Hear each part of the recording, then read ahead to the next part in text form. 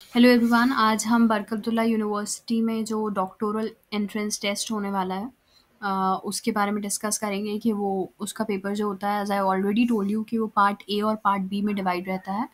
Two hours का वो paper होता है जो फिफ्टी मार्क्स का पार्ट ए रहता है और फिफ्टी मार्क्स का पार्ट बी रहता है। तो पार्ट ए में आपका रिसर्च मेथडोलॉजी से रिलेटेड जितनी भी चीज़ें रहती हैं जैसे कि what is research and you have to define hypothesis research design क्या होता है क्वांटिटेटिव क्वालिटेटिव रिसर्च क्या होता है, ये सारी चीज़ें आपका रिसर्च मेथोडोलॉजी में आते हैं। तो अगर हम फ़र्स्ट यूनिट पे आएँ तो ये सारी चीज़ें आपको, इनकी डेफिनेशंस जो हैं, वो आपको बिल्कुल थॉरो होना चाहिए कि हाइपोथेसिस क्या है। वो हाइपोथेसिस आपसे किसी भी तरह पूछ सकता है ऑब्वियसली ऑब्जेक्टिव्स टाइप में आएगा।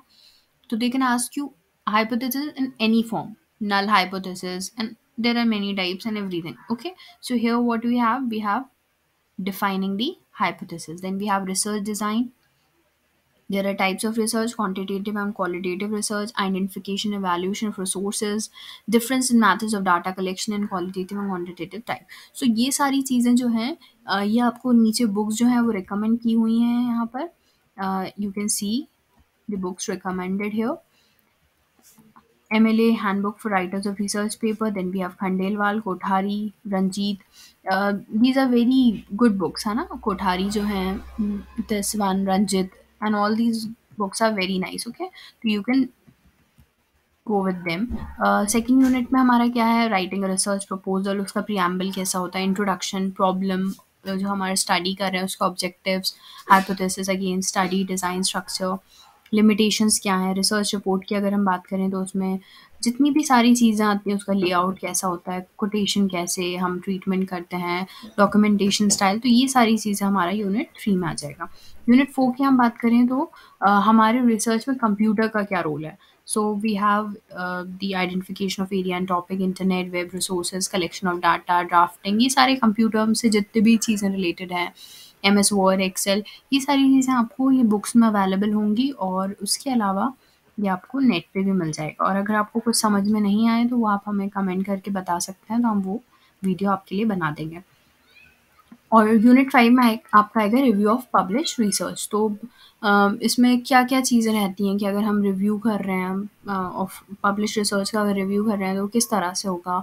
स्टेप्स उसमें क्या क्या हैं? तो ये सारी चीज़ें जो हैं, आपको बिल्कुल पढ़ के जाना और ऑब्जेक्टिव टाइप रहेगा, जिसमें कि ऑब्जेक्टिव देंगे और आपको उनको आंसर करना होगा। तो अगर आप इन चीज़ों चीज़ों की आपको अगर डेफिनेशन पता है तो आप इजीली ये सब कर सकते हैं। तो this is basically of arts अगर आर्ट्स में आप कोई सा भी सब्जेक्ट लेंगे तो आपका रिसर्च मेथडोलॉजी जो रहेगा, वो सेम रहेगा।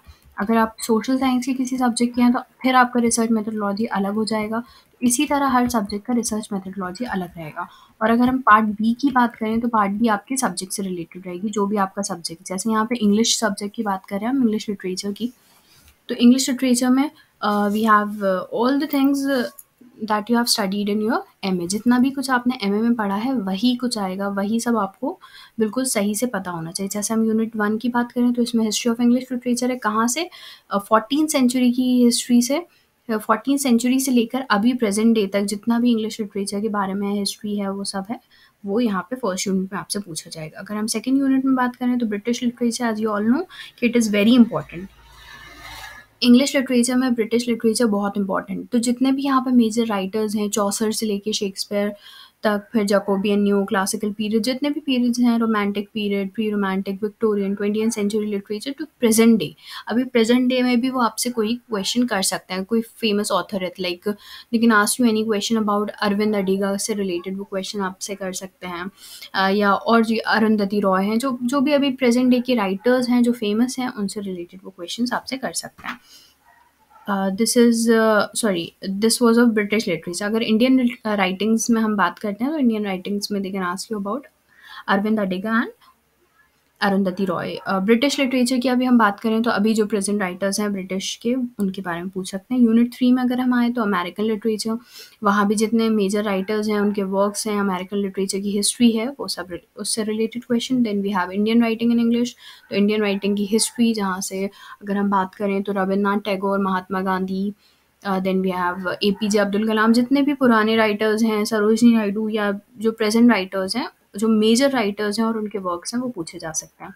यूनिट फोर में we have literary theories and criticism so literary theories and criticism में you must know that there is structuralism and post structuralism और जितनी भी अलग अलग थ्योरीज हैं फेमिनिज्म तो ये सारी थ्योरीज और क्रिटिसिज्म जो हैं, वो सारे आपसे पूछे जाएँगे। एंड ऑब्वियसली मेजर क्रिटिक्स जो भी हैं एरिस्टोटल एंड ऑल दैट उनसे सब रिलेटेड और उनकी थ्योरीज क्या क्या हैं, वो सब।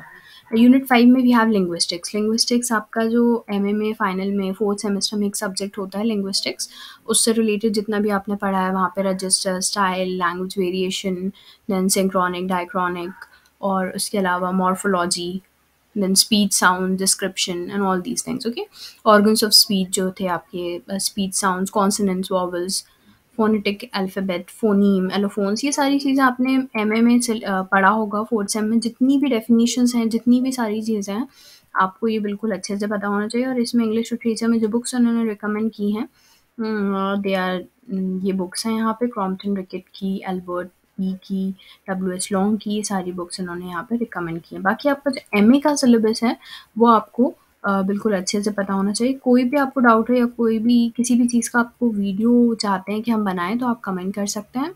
और इसी तरह हम दूसरे सब्जेक्ट्स का भी आपको बताएँगे कि किस तरह से दूसरे सब्जेक्ट्स में जो है वो क्वेश्चन पेपर रहेगा। So that's it for today thank you